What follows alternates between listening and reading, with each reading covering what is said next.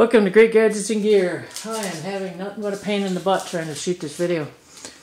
Alright, this is my version of the Harbor Freight 10 drawer cart.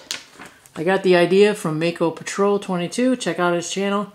He has a very long, instructive video on exactly how to make this cart.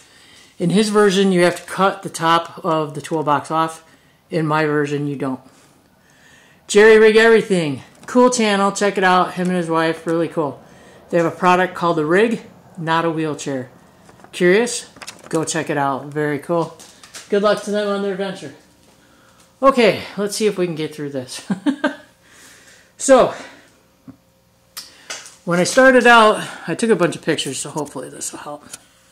That's what I started out with. All right, I already built it, so then obviously I had to take it apart. So, when I took it all apart, here's your base. Put on your four swivel casters. Then there is this long piece with two tabs on either end. There's a tab there, tab there. Make sure it's oriented this way with the tabs away from you. Okay? And that's where the lower part of the toolbox sits because it's narrow. So what you do is you mount this on the front and back and the first top holes there. This is what's going to support the toolbox. Yes, you lose all this bottom space, but you get to retain the height for the toolbox. So give and take on this thing. You don't need the side supports. Don't worry. This is just to keep the toolbox up so it functions. Alright, before you put the toolbox on or the uh, side supports on, what you're going to have to do is you're going to have to cut the top, or I'm sorry, you don't have to cut the top of the box. What am I saying? you have to remove the top of the box. There's a piano hinge here and it has a bunch of black pop rivets in it. Just drill those out, this thing comes right off. Simple, easy peasy. Okay, so once you remove the top of the box, the lid of the box, why I keep saying the top of the box, but once you remove that, you're good to go, okay? So, the next thing you do is you put on your four supports, side supports, okay? Your four side supports, set the box in to make a measurement because the next thing you're going to have to do because of that piano hinge it's got a lip there that held it on place so it sticks out. You're going to have to make some notches on the left and right side of the toolbox of the top of it so it when you drop it down it slides in between the posts there so it sits properly so it sits like that. So you're not trying to bend the arms around that extra piece of steel there, okay? And if you notice too, you don't do anything with the locking portion. Just, just, uh, I don't know what's going on with my camera. you don't have to do anything about the locking portion, the, the little pillars leave the black caps on and everything. You don't have to do nothing with that right now. All right, so you got your four posts up, you got your box dropped in, you got your notches cut. The next step is where these bolts are. Before you put those bolts in, you take another one of these center supports, just one, just at the front, because the back is gonna uh, um, you know, it's sitting on this lower portion. So it's up, you know, it's up here. You're going to use that to support when you put the second box on because there's nothing here to support it. You don't put it on the back because you have the locking mechanism back there and it would block it. And in my version, I'm going to show you how to make this so all 10 drawers lock. So you just put that extra piece right here. Then you can lower on your toolbox and go from there if you don't want it to lock. This is where the grinder part comes in. If you want your toolbox to lock, take the top box, lay it on its back so the drawers are facing up so you're looking at the bottom. This is what the bottom looks like close up. Okay. That little tab that's circled there, that is the locking mechanism. That is the bottom of the drawer. Do not cut that. that's where my boo-boo happened. Do not cut that because that's what locks the drawers in place when the little bar slides down. Okay, so if you see below that though, I drilled two holes. So you want to stay at the back section. Let's say that this is the, the thickness of this bar here. You want to stay at the back because the locking mechanism is only about an inch in height and probably about an inch and a half wide. So you want to cut out, let me get this oriented again, sorry. You want to cut out the back section of that bar in a rectangle. And you want to do that because this bar that's here comes down to lock onto the drawers. So you're cutting that because it's going to need to pass through here to get to the bottom box. To get to these two pillars. Okay? So cut that out with a grinder if you want your drawers to lock. If you don't, you can just throw the second box on the top. Where you go from there, after you have the two boxes on top of each other, See, this is what hap This is what it looks like when the two boxes are sitting on top of each other. This is the. I took the drawer out, the bottom drawer, like I told you, so you can see inside. This is how it lines up. You want to make sure that that top pillar lines up with the black from the bottom of the box. That's the locking mechanism from the bottom. This one is for the locking mechanism at the top. Okay, so that's important because we're to we're going to come back to that later, okay? So then once you have the box sitting on top, it'll look like that. Well, sort of like that. The next thing you want to do is put on the side supports. Attach them to the top of the box only for now. Okay, you got your box sitting on the other box. It should be all lined up perfectly as long as you lined up those back two sections over the locking mechanisms. Then what you're going to have to do after you have these all screwed in on, on all four corners, you're going to have to get some clamps to force these rails together to be as close together as you can get them. And you're going to have to drill some holes um, in different places. I had to drill some extra holes because mine don't line up perfectly like Mako Patrols do, do because I left that height on the bottom here, which made my cart overall a few inches taller. And I like that. Plus, I liked you didn't have to cut it all up. The lock is still there. It's still, you don't need it though because you're going to, overall, the top lock is going to lock the entire system now. Okay? So once you have that in place, you go around to all four of your sides, get them all clamped down nice and tight where you want, drill a bunch of holes, and they're you know they're already pre-marked for you on the on the outside because the top bars should be on the outside, and the bottom bars should be on the inside. So just clamp them, build a bunch of drill a bunch of holes, um, and uh, don't screw anything in yet because what's going to happen is once you have that, here she is. Once you have, once you have those rails together, I'm going to take you off here. Once you have the rails together, you can see they don't fit perfectly. I mean, you, I could throw a clamp on there, squeeze that in a little bit, and put some more screws in there if I wanted to, more bolts in there. But it's good enough for right now. But you can see how close I got it up here. Okay.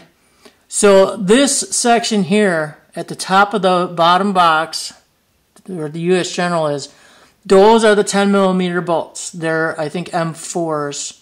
So they're longer because it's got to go through the handle, it's got to go through two side rails, the box, and that center support that I showed you, you know, that runs along the front here to hold the box up. So it's quite a bit. That's the only thing, uh, the only modification.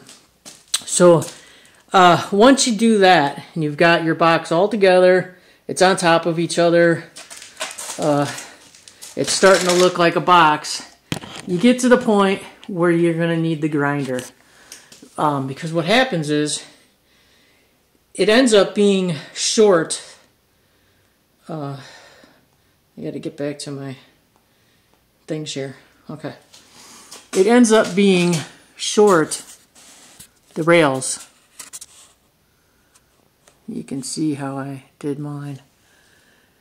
They don't quite meet up. There's a big hole, a gap between the lower portion. I took the black caps off from here. Okay. Um, yours may vary because I kind of screwed mine up and cut the locking tabs off my drawer, so I had to make new locking tabs. So your distance might be different than mine. But what you have to do is put some kind of metal or something to connect the top to the bottom and leave the hole in the center because that's where the locking tab fits into. Then the top one slides down over it to lock, but it also pushes the bottom one down to lock the bottom drawers. So you're gonna need, I this is what I used. I just had them laying around and I just actually CA glued them because there's not a lot of space to drill uh, those thin rails are really real small. Um, so for I don't know, how long that's going to hold up, but until I come up with a better plan, because I can't weld. If you could weld, you could probably weld a couple plates there when you figure out the correct distance.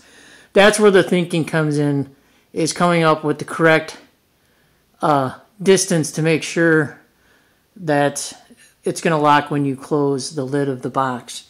But I mean, really, it's really simple uh, construction to to build this. Um, because on the bottom of the box, the only thing you're doing to the bottom of the box is you're taking the lid off, drilling out the pop rivets to take the lid completely off, and you're cutting those notches in the corners I showed you so the box will slide into the rails. And that's the only modification that you're making on the bottom box. The top box, the only modification to get it to lock is, like I said, leaning it over so the drawers face up so you can see the bottom. Take the bottom drawer out. Cut out those little inch by inch and a half in width. You'll see when you remove the box, you'll see the rails. So you just need to cut out. The rail's not going to fall out or nothing that's in there. But you're cutting out so it can pass through to close the locking mechanisms on the bottom of the box. Because this is still what it looks like on the bottom of the box. But I took mine off because I didn't have the clearance because the um, new locking tabs I had to put on the bottom of my box were thicker. So you might be able to leave those in. So you're going to have to play with it a little bit. That's the only part that's going to need some figuring. But when you do, it's cool because all drawer, all the 10 drawers lock. You close the lid.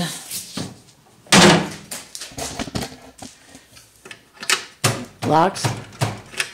And then on the bottom, let's see if I can get you down there more. Locks.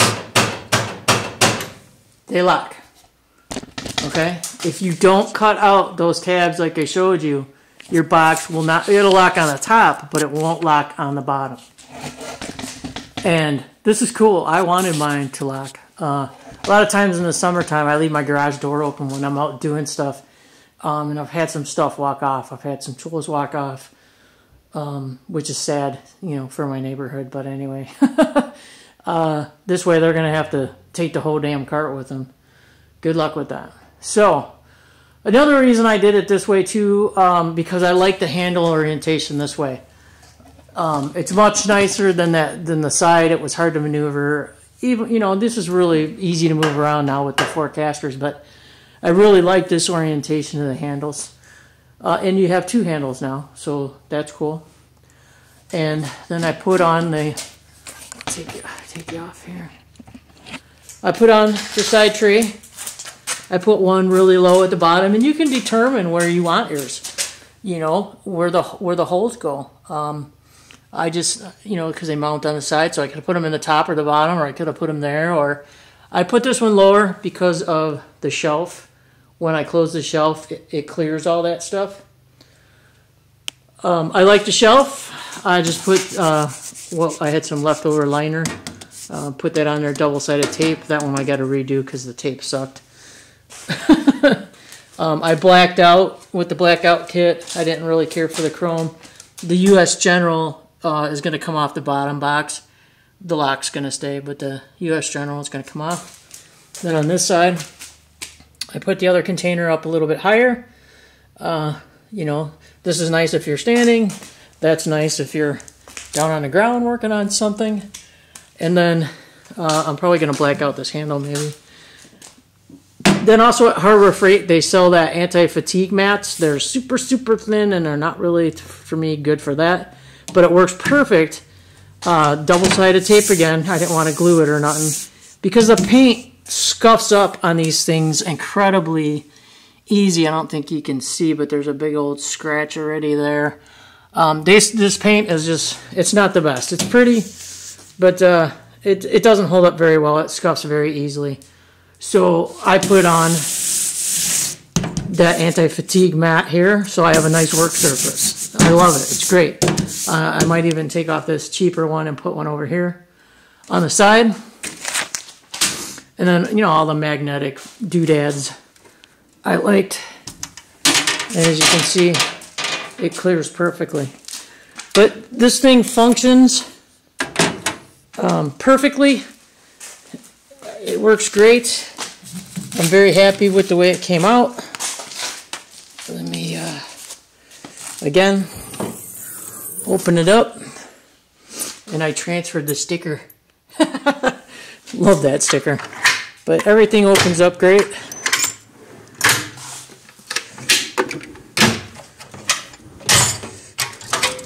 This is the drawer I messed up.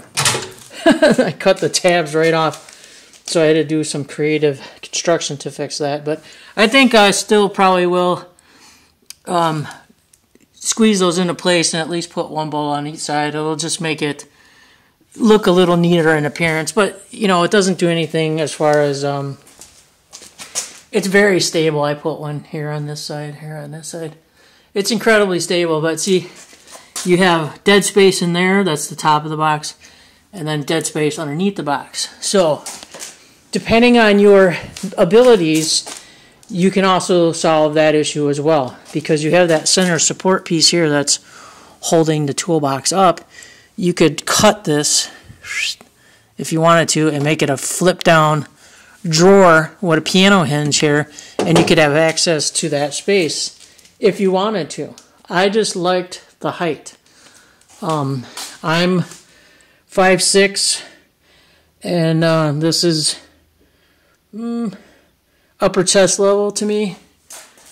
And, and it's great because I can still, I can reach everything and it's a great height for me. The top's a little hard for me to reach because I'm short, but uh, guys are generally taller, so it'll work out good for you. So that's my, that's my 10 drawer. And I'm really happy with the way it turned out. Uh, sorry I couldn't shoot a video for you, but like I said, I was kind of fumble bumbling at first it was a lot of thinking, um, more so than any type of fabrication or whatever. It was just trying to figure out how how to do it without cutting it. Um, and there's nothing wrong with the way he did it. I mean, he did an awesome job. I mean, he's done quite a few of them, so he has it down pat. Um, and you can do it that way. You can cut uh, that bottom portion there, and uh, you know if that's easier for you. Um, but again, I'm not sure if his drawers all lock. Uh, mine do, and, and, I love it. So, if you have any questions or comments, let me know. Drop them down. Subscribe to the channel. We welcome anybody new. Um, I hope you enjoyed my kind of screwy instruction here. If you have any questions, I'll be happy to answer them for you. Um, if I were to do this again, um, not that I'm going to build a second one. I don't need one. but if I were to do it again, I could shoot a video then because it was very simple to put it together this way. Very minimal modification to the carts. Um, and I just like the fact that I didn't have to cut into it. Not that I would ever separate them or anything. I just like the look. It looks really good and it's a little bit taller. All right, subscribe, like, hit that like button. Tell me that you like this video. Tell me that you want me to keep making videos. Uh, spring and summer are coming. We're going to get back into hiking and um, get home bags and emergency kits and all kinds of that good stuff that you guys like. This has been a little sidetrack, so my winter program is going to be different than my summer program. So I hope you stick around for the summer program. It'll be cool. if you want to support the channel, give us a super chat, super like, whatever. Um, all that's greatly appreciated. And all the money goes right back into the channel. As you can see, I buy tons and tons of stuff. So I can shoot videos for you guys on the projects that I'm working on. And so you can appreciate it, and hopefully it helps you out. Thanks for sticking around. Um, a shout out to the one person who requested this video, which is funny. And that would be, and of course I'm not going to be able to find it now. Rick Coppin. I hope I'm pronouncing that right. If not, I'm sorry about that, Rick. Um, I hope this video helps you out. I hope you enjoyed it, and let me know what you guys think of this. My 10 drawer cart. All right, take care to the next video.